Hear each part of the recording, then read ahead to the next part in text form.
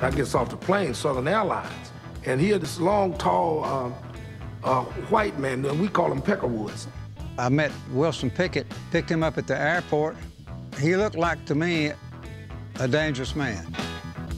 He walked up like he'd known me for 500 years. Hey, Wilson, come on, come on. We're going to cut some records. Boy, we're going to really cut some records. Come on, Wilson. Come on. I said, wait, wait. I'm, I'm nervous, you know what I mean?